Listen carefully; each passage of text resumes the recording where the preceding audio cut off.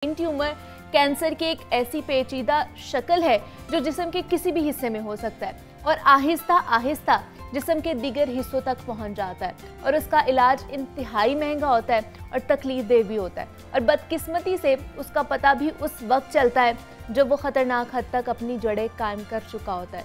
और आज पाकिस्तान समेत दुनिया भर में दिमाग की रसोली यहाँ पे ब्रेन ट्यूमर और उससे बचाव से मुतलिक आगाही के लिए ब्रेन ट्यूमर का दिन मनाया जा रहा है। आलमी इदारा सेहत डब्ल्यू के मुताबिक दुनिया भर में डेढ़ करोड़ से जायद अफराद जो हैं वो ब्रेन ट्यूमर का शिकार होते हैं। तो ब्रेन ट्यूमर का शिकार खातन की तादाद मर्दों से कहीं ज़्यादा पाई जाती है।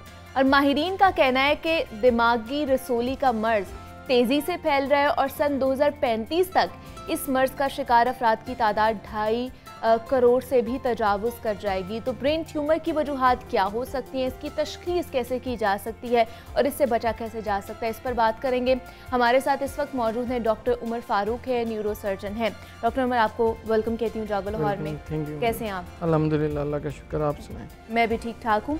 डॉक्टर उमर आज वर्ल्ड ब्रेन ट्यूमर डे मनाया जा रहा है। तो सबसे पहले बताइए इसकी अहमियत क्या है और इस इसको मनाने का मकसद क्या है? इसको मनाने का एक्चुअली मकसद ये है कि जो पहले जिस तरह होता था कि लोगों को अपनी डिज़ीज़ के बारे में पता ही नहीं लगता था। जी।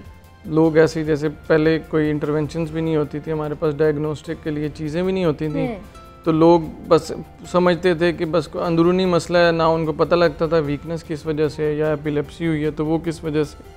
अब ये जो एक हमने ये इवेंट किया या ये जो हो रहा है इसका मकसद ये है कि लोगों को पता लगे कि जब इस तरह के कोई सिम्टम्स आते हैं जैसे कि हेड हो गया वॉमिटिंग हो गया कोई साइड की हेमीप्रेसिस मतलब एक साइड का कोई फॉलेज हो गया हम्म। या पेशेंट सुन हो जाता है या कोई उसको मिर्गी के दौरे पड़ते हैं तो उस सिलसिले में क्या करना चाहिए हमें और किस तरह पता लगे कि हमें ये ट्यूमर है या कोई और चीज़ है खुदा ना खस्ता तो ये आगाही का मकसद ये है कि लोगों को ये चीज़ें लाइट नहीं लेनी चाहिए अगर कोई इस तरह का सिम्टम आता है पहले ज़माने में होता था कि लोग इस चीज़ को इग्नोर हम्म। करके चलते रहते थे ना उनके पास कोई इन्वेस्टिगेशन की चीज़ें होती थी और ना कुछ तो वो बस ऐसे लिंगर ऑन होता रहता था।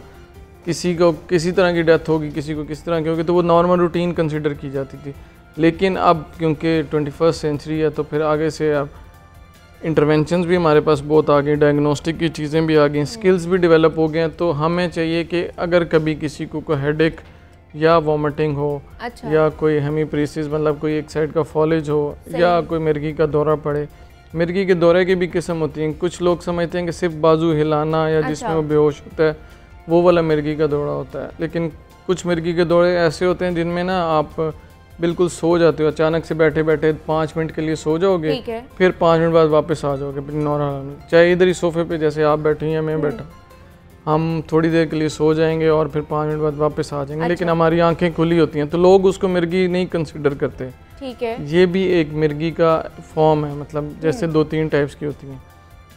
तो सिर्फ़ इस चक्कर में ये कि ये सारी चीज़ें होती हैं तो ये आपको लाइट नहीं लेने चाहिए। इनिशियल स्टेजेस पे क्या यही इसकी अलामत हो सकती है? इनिशियल स्टेजेस पे मेनली हेडेक के साथ पेशेंट अच्छा। प्रेजेंट करता है हमारे पास वॉमिटिंग के साथ आता है।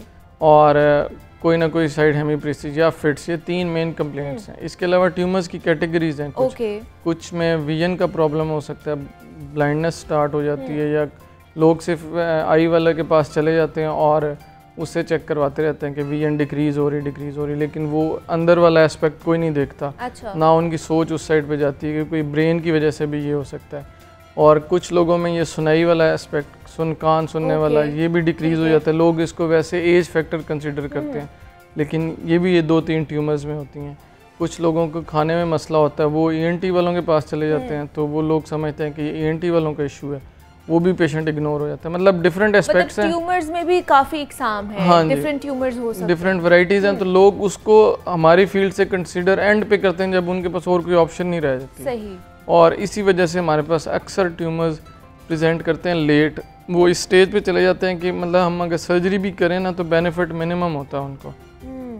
अगर यही चीज़ें वो इग्नोर ना करें और पहले आते जाएँ हमारे पास तो हम उसकी सर्जरी भी पॉसिबल आसान होती है जितना छोटा ट्यूमर होगा ऑब्वियसली उतनी आसान सर्जरी होगी उतना आउटकम भी अच्छा होगा जितना एग्रेसिव ट्यूमर हो जाएगा उतना वो बड़ा होता जाएगा अच्छा। और वो इन्वॉल्व करता जाएगा सराउंडिंग स्ट्रक्चर्स अगर मेन चीज़ें हम जो इन्वॉल्व करते हैं उनको हम नहीं फिर नॉर्मली छोड़ते क्योंकि उससे डेफिसिट बढ़ जाता है कई हम्म, दफ़ा हम्म। तो जितना अर्ली आ जाएगा पेशेंट उतना जल्दी अ, आउटकम उनका डायग्नोज हो जाएगा और उतने जल्दी उनके लिए जल्दी अच्छा है।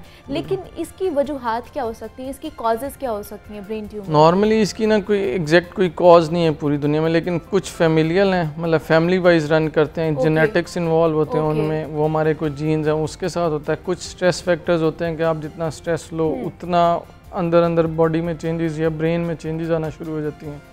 कुछ में ये होता है कि हमारे पास जैसे फैमिलीज़ में फीमेल्स हैं उनमें ज़रा कॉमन होता है ओके एक प्रेगनेंसी इशू है उसमें कुछ हार्मोन्स रिलीज़ होते हैं जो कि ट्यूमर कर सकते हैं कुछ फीमेल्स ये कॉन्ट्रासेप्टिव पिल्स यूज़ करती हैं उनकी वजह से भी हो सकता है और कुछ ड्रग्स हैं अच्छा। जो नॉर्मली हम आम रूटीन में खाते रहते हैं जैसे कि आप कह लें पेनाडोल होगी या कोई और भी ड्रग्स होती हैं इस तरह की उल्टी। वाली ग्रेविनेट वगैरह अब मैं नाम तो इस तरह नहीं लेना हम्म। चाहता लेकिन वो भी आहिस्ता आहिस्ता प्रोलॉन्ग यूज़ की वजह से ना कुछ ड्रग्स भी इस तरह की हैं जो कि ये इफ़ेक्ट करती हैं और लोगों को इसका आइडिया नहीं होता। हम्म, तो वो इन द लॉन्ग रन अंदर ही अंदर आपकी अंदर बॉडी में चेंजेस आती रहती हैं और फिर जब ये चीज़ें प्रेजेंट करती हैं तो फिर पेशेंट को पता लगता है कि ये लेकिन जैसे मैं भी बात करी थी और साइंस भी कहती है और स्टडीज़ भी ये हैं कि मर्दों के मुकाबले में ख़वातीन में ये चीज़ ज़्यादा पाई जाती है ब्रेन ट्यूमर इसकी क्या वजह आपको लगता है? मैं बताएँ प्रेगनेंट हाँ है स्ट्रेस फैक्टर ज़्यादा है दूसरा प्रेगनेंसी इशू है तीसरा हार्मोन कंट्रासेप्टिव पिल्स जो ये लेते हैं ना हम्म, उनकी वजह से भी है। नॉर्मली फीमेल्स आपने देखोगे मेडिसिन ज़्यादा खाती हैं एज़ कंपेयर टू मेल्स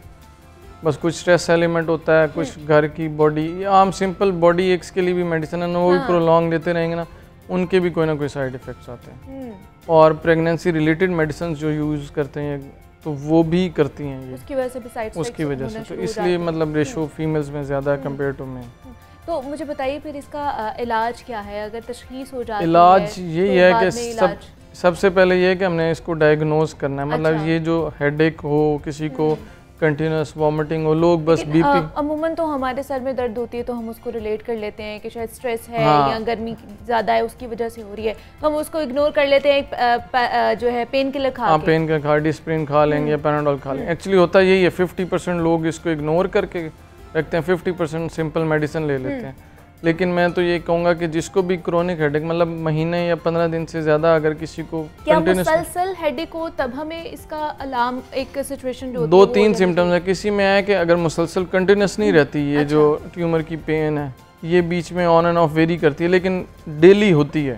हम्म, अगर किसी को डेली कंटिन्यूसली रह रही हो मतलब 15 डेज़ या 20 डेज़ डेली भी रह रही हो उसको एटलीस्ट इन्वेस्टिगेशन करानी चाहिए अपनी। ठीक है। कि कोई फर्दर कोई इस तरह का इशू तो नहीं है चाहे उसमें सीटी करा ले बेसिक इन्वेस्टिगेशन सीटी स्कैन है।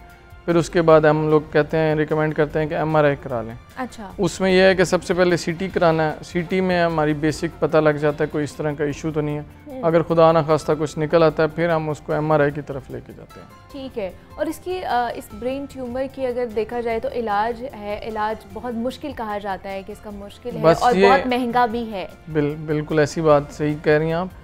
पहले ये होता था कि हमारे पास इंटरवेंशंस कम थी डायग्नोसिस भी कम होती थी पेरीफ्री से में लोग ज़्यादा होते थे। यहाँ पे भी आप फ़र्ज़ करें ले जाएँ 90s में ले जाएँ 2000 में ले जाएँ तो दो तीन जगहों पे एमआरआई लगा होता था। अब मल्टीपल जगह पे गवर्नमेंट से सेटअप में भी आ गया प्राइवेट के सेटअप में भी आ गया तो अब डायग्नोसिस आसान होगी दूसरा इसी तरह सर्जरी वाइज स्किल्स भी लोगों के बेहतर हो गए हैं। गैजेट्स भी हमारे पास आना शुरू हो गए हैं। जैसे पहले माइक्रोस्कोप बहुत रेयर होती थी। अब माइक्रोस्कोप कॉमन होना शुरू हो गया। उसके अलावा हम और इंस्ट्रूमेंट्स कुछ यूज़ करते हैं स्पेसिफिकली एंडोस्कोप या कैमरे के थ्रू जो जैसे आपने सुना होगा। लेमेंट टर्म वो यूज़ करते हैं। अब हम उस तरह भी यूज़ करते हैं। तो इंटरवेंशंस भी नहीं होती जा रही हैं गैजेट्स भी नहीं आते जा रहे हैं डॉक्टर्स भी माशाल्लाह थोड़े से स्किलफुल होने शुरू हो गए हैं। पहले की नस्बत कुछ नई आपको पता है जनरेशन थोड़ी सी वैसे पुरानों से ज़्यादा तेज़ होती है। तो ये इसी तरह ये सारा सर्कल है। तो अब अलहमदिल्ला अब अगर कोई ये कहेगा कि न्यूरो सर्जरी उस तरह वाली मैं तो नहीं कहूँगा क्योंकि मैं खुद तो न्यूरो सर्जन हूँ। हम्म, तो ऑब्वियसली हम चाहेंगे कि इसको प्रमोट भी किया जाए। और दूसरा ये कि अगर कोई इस तरह के इश्यूज़ होते हैं उसको लाइट ना लिया जाए और. कोई सर्जरी डिफ़िकल्ट नहीं है। जितना जल्दी आएँगे उतना बेहतर होगा। जितना लेट करते जाएँगे आप भी सफ़र करेंगे फिर डॉक्टर को भी ऑब्वियसली डिफ़िकल्टी होगी। लोगों का कॉन्सेप्ट इसलिए ख़राब है क्योंकि पहले लोग आते थे लेट ठीक है। डायग्नोसिस नहीं जल्दी होता था तो ऑब्वियसली जब लेट आएँगे ना तो पेशेंट का आउटकम इतना अच्छा नहीं होता तो वो एक इमेज चला जाता है कि जी न्यूरोसर्जरी में पता नहीं क्या है। हम्म,